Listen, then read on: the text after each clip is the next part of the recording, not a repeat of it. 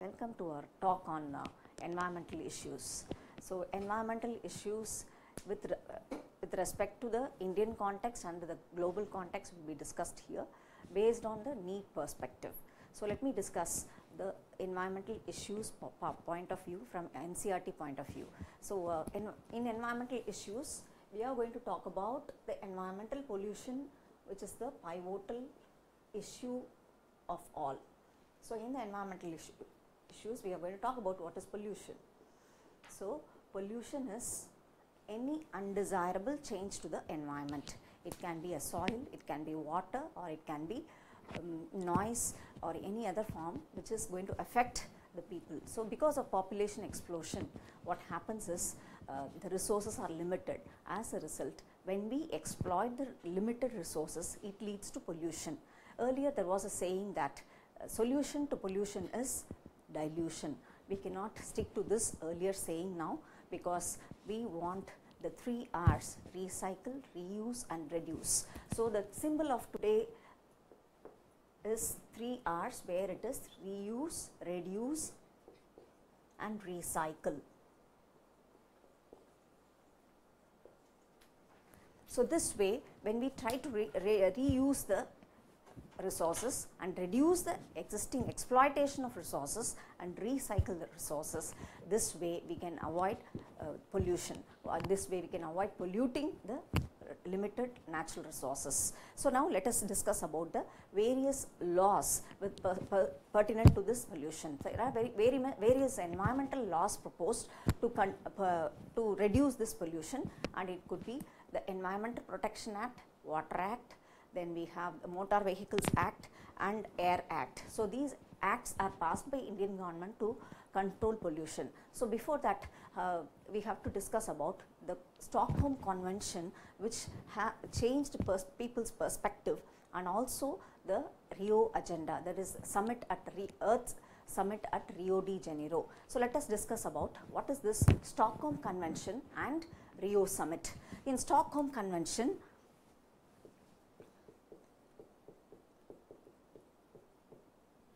nineteen seventy two, the world woke up for an important issue. So, here this is uh, indeed an eye opener for various environmental decisions made by different countries and they have adopted various policies because the pioneer of these is going to be this uh, Stockholm Convention followed by 1992's Rio Earth Summit. So, this was followed by Rio Earth Summit 1992.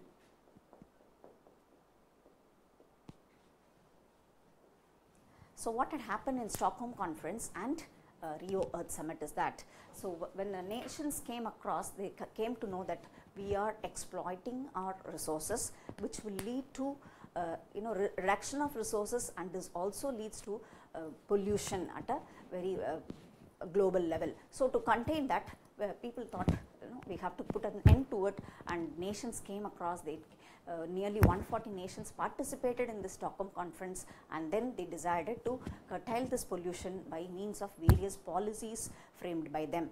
Uh, so here, this has led to a ban of DDT. Ban of DDT. This conference has led to the ban of DDT.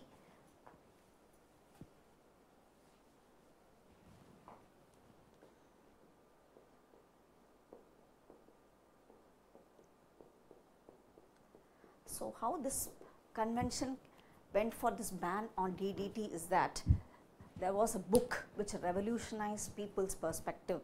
That is a book by Rachel Carson on Silent Springs. So, this book was an eye opener wherein uh, a marine biologist, uh, Rachel Carson was a marine biologist who wrote about the effect of pesticides, the effect of pesticides in ecosystems and also in various trophic levels. And she found that this, these pesticides kept on accumulating and this led to biomagnification across trophic levels.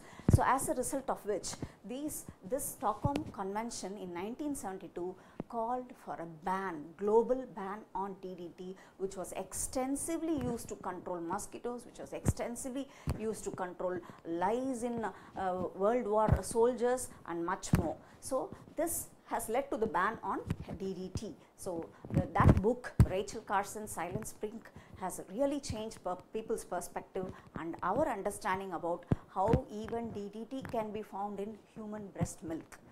Then there was an uh, 20 years passed and then another conference which really rocked, which really made every nation accountable was Rio Summit, Rio Earth Summit in 1992 or briefly we call it as Rio Agenda 21 wherein they had nearly 21 agenda to be followed by all countries wherein they included uh, the ban on uh, CFC compounds and to cut down global warming that is carbon emission. So when, it, when we talk about global warming we have also have to make a mention of a book which was written by the vice former vice president of United States of America Al Gore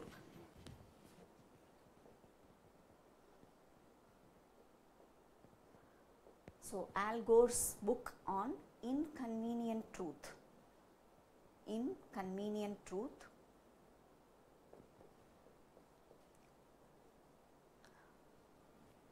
Gave emphasis about global warming and the repercussions of global warming. For which Al Gore was awarded the Nobel Peace Prize for his wonderful work on wonderful book Inconvenient Truth. So, in a similar context, there was an Indian, uh, our own Prime Minister Narendra Modi wrote about convenient action. So, Narendra Modi wrote about convenient action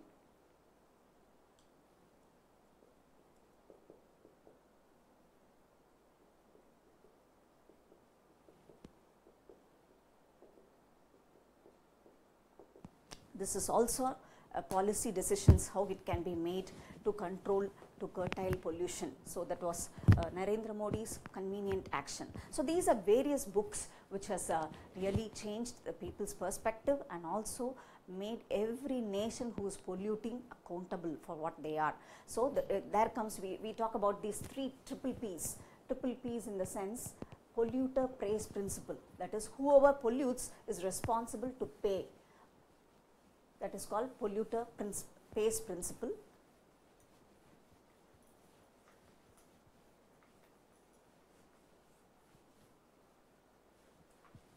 polluter pays principle. So, no more do we believe that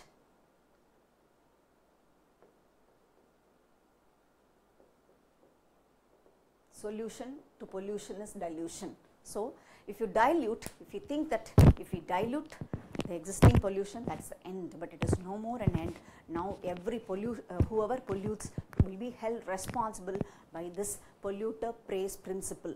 And now, these conferences especially the Rio Rio Summit, Rio Earth Summit has made every country, every corporate, every company accountable if they pollute. So, so, so as to reduce the global warming as we are aware that the global warming situation is very bad as a, a result of which the you know the sea level is rising and then we have various floods in coastal regions and much more the sea level keeps on rising and uh, we are expecting to 80 ppm to 300 ppm of carbon dioxide in the atmosphere. Though we may call that global warming is indeed a natural phenomenon, it is this natural phenomenon has been increased, hastened by anthropogenic activity. So, we are responsible for this global warming and we the anthropogenic activities has increased the global warming which would have occurred in a long run. So, global warming is due to the increased carbon dioxide emission, especially the carbon dioxide emission uh, and uh, cut to cut down carbon dioxide emissions, there were two protocols formed that is one is Montreal protocol, another one is Kyoto protocol. The Montreal protocol, protocol emphasized the importance of reducing CFC it reduces CFC, emission of CFC, chlorofluorocarbons. If chlorofluorocarbons are emitted from air conditioners and from um, uh, fire retardants and uh, any coolers, these CFCs can harm the stratospheric ozone. So, this uh, as we know that our atmosphere is made up of troposphere, stratosphere, then mesosphere, therm, thermosphere, ionosphere and then exosphere. So, but this particular CFC compound has an effect on the second layer which we call it as stratosphere. Here is where the stratosphere is present and the stratosphere has a spe special layer called ozone and this layer is very very important because this protects. So, here is where our topo, troposphere and here we have stratosphere. We all live in biosphere. So, this would be roughly around 8 to 12 kilometers, 12 to 50 kilometers would be stratosphere. So, within the stratosphere is our layer which we call it as ozone, ozone layer. So, if the ozone layer is above our head, it is a very good, uh, but if the ozone layer is present in biosphere, it is uh, detrimental to the human health. So, this we call it as bad ozone, the ozone which is present in the uh, upper layers that is stratospheric layer we call it as good ozone. So, this will help. So, when the sun's light is here, this U, the sun's light will also give us ultraviolet. So, this stratospheric ozone has the capacity to repel this ultraviolet so that the harmful ultraviolet will not reach the biosphere in which we are living. So, thereby it is a shield which protects us from ultraviolet. So, these CFCs go up in the atmosphere and reaches the stratosphere and prevent the oxygen and nascent oxygen formation to give rise to uh, ozone O3. So, this ozo uh, ozone which is a deflector of UV is because of this CFC production from man which disrupts the ozone layer. So, they formed this Montreal protocol in which people nations signed wherein they wanted to phase out the ozone. In fact, they have phased out the ozone and we have alternatives to ozone which are less harmful which we call it as R22.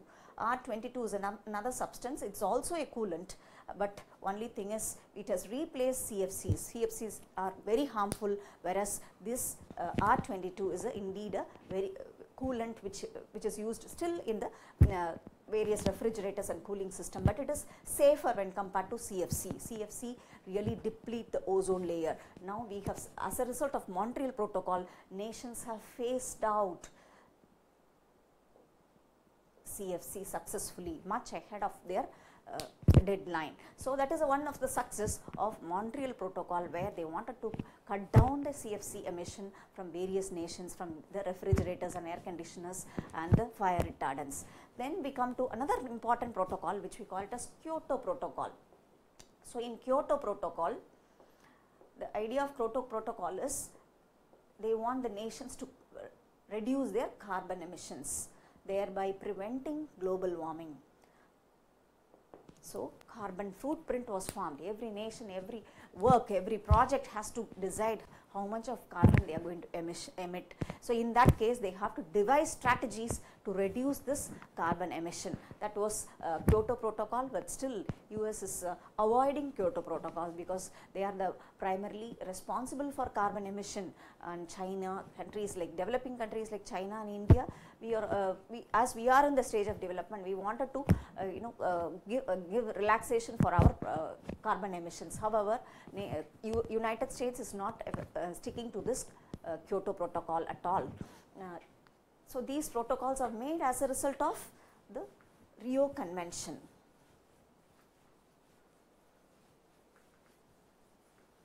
Now, we are going to talk about the different types of pollution. So, the pollution could be air pollution, water pollution, soil pollution. We will discuss one by one soil pollution, then air pollution, then water pollution. So, as we discuss about one by one, let us see what are the agents which cause pollution to our waters. So, water is the elixir of life. So, without water there can we cannot expect life in, in our planet. So, the very reason for life to exist in this planet is because of water that is in soluble form and oxygen presence in our planet. So, this water uh, if it gets polluted it will have its own deleterious effects on the health of various plants and animals. So, now, now let us discuss about water pollution. What are the major uh, agents which cause water pollution? So, uh, water pollution could be mainly due to microorganisms. We call it as microbes are responsible for pollution of waters especially in our country the problem is fecal contamination of water is the primary reason for uh, water pollution then apart from that we also have some uh, elements which also are responsible for water pollution like um, presence of um, arsenic which is very common in Bangladesh and India and parts of Americas.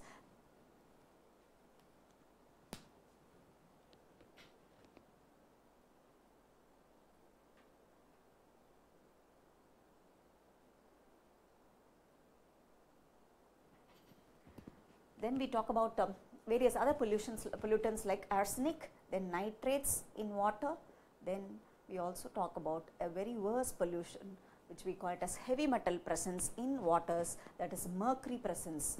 Okay mercury presence in water or sometimes even cadmium present in water. Then we also have fluoride presence in water